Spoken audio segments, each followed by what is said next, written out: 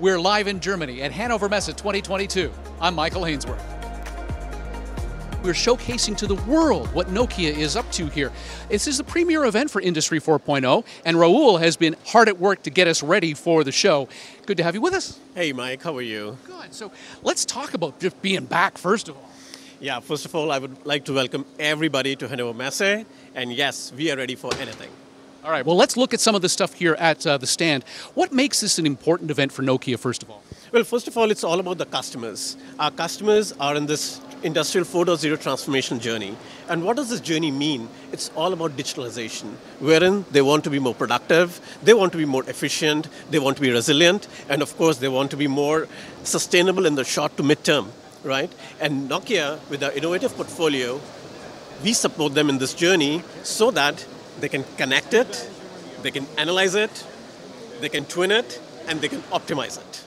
These are the critical components to that. Yes. So this is the basic essentials of Industry 4.0, and we are ready for our customers to be ready on this journey with us.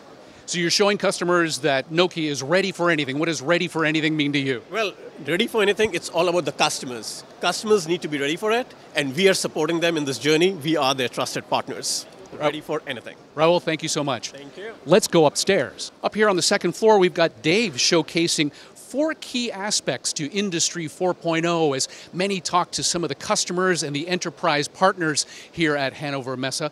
And Dave, uh, you're ready for anything as well. What are those four key components to Industry 4.0? So uh, our, the four key components to digital transformation are first to connect it, eh, connect your devices and, uh, and your machines and your people. Uh, the second is to uh, analyze that data that you collect to be able to do uh, pre predictive maintenance and performance capabilities. And then you twin it uh, so that you can now model that information, uh, information in your um, factories, and then you finally optimize it. And of course, you can't show off this stuff without showing off some demos.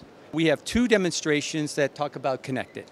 The first is about our ruggedized industrial devices. We have some new industrial devices, 5G industrial devices, partnerships with some leading edge um, industry uh, accessories with Savux. And then we also have a, a, digital twin, network digital twin capability that we're announcing uh, here today as well. The next one is our uh, connected also, but it's connecting different uh, wireless access types. Wi-Fi, 4G, and 5G. And being able to combine those in different ways to be able to get better performance in the network and to provide also uh, better reliability for those mission critical industrial uh, capabilities that you need. The TwinIt is really showing how we're using augmented reality to show how we can help maintenance workers perform their tasks and to be able to do them better and more uh, uh, with better uh, quality, uh, improving their uh, performance. The Analyze It is where we're aggregating data from machines, sensors, and um, using our partners PTC and Atos uh, together to provide the information and data that's necessary in the operations to perform those tasks and be able to get better quality out of the uh, production line. And then lastly, Optimize It is a demonstration where we're showing AMR performance and improving uh, the performance of AMR using fleet management. All of these uh, demonstrations are utilizing our private wireless network together with our mission critical industrial edge solution. Dave, it's an exciting time and I'm glad we could do this again in person. Thanks for joining us. Thank you.